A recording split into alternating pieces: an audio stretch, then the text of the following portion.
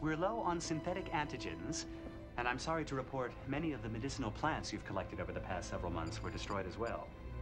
I have some herbs in storage you might be able to use. Been holding out on me? No. I was keeping them around just in case. Good planning. As for the antigens, I'll have to start replicating them in batches. Which do you want first? Decisions, decisions.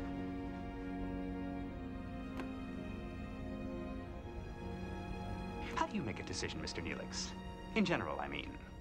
I guess I weigh the alternatives and try to decide which is best. Which is best? How do you determine that? I never thought about it, really. Well, maybe you should. Think about it, I mean. I guess every situation is a little different. Hmm, For me, it's rather simple.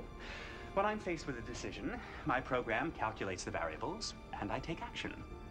For example, what could be simpler than a triage situation in sickbay?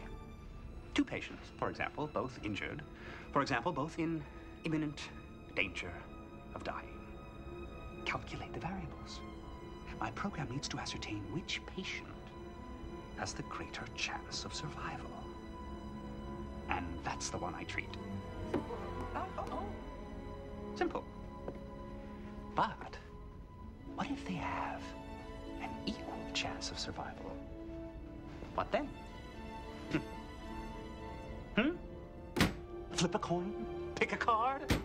Doctor, Oh, I'm all right. I'm a hologram. I don't get injured. I don't feel pain. I don't die. Unlike some people I could tell you about. For example, two patients, both injured, both in imminent danger. Don't touch me. I'm a hologram. Photonic energy. Don't waste your time. Neelix to security. Send a team to the mess hall, please. A whole team, Mr. Neelix. Throwing a little party, are we? Why, I attended a party just recently. A birthday party for a very nice young woman. I made a decision there, too.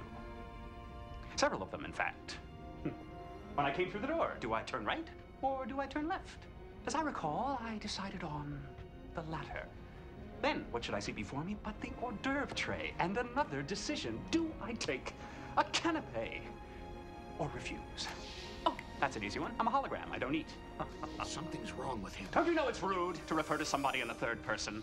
You had a choice, Mr. Neelix. Should I do something rude or not do something rude? Doctor, we must return to sickbay. Why should I? What if I don't want to return to sickbay?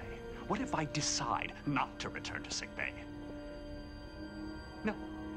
I don't choose this. Leave me alone. Let me go!